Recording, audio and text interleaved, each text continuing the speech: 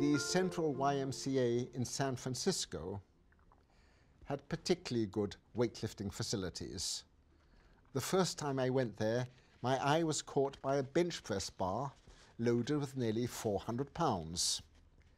When I looked around, I saw no one on the Y who looked up to such a weight.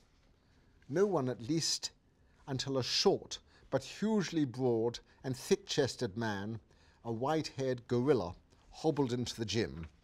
He was slightly bow legged, lay down on the bench, and by way of warm up, did a dozen easy reps with a bench press bar. He added weights for subsequent sets, going to nearly 500 pounds. I got talking to him later. He was very genial.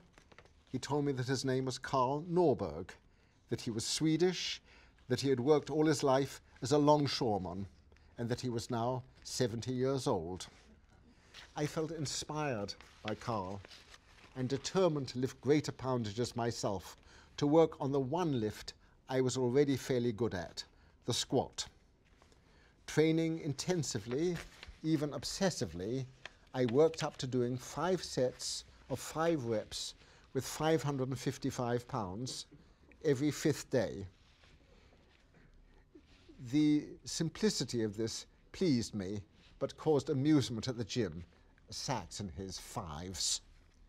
I didn't realize how exceptional this was until another lifter encouraged me to have a go at the California squat record.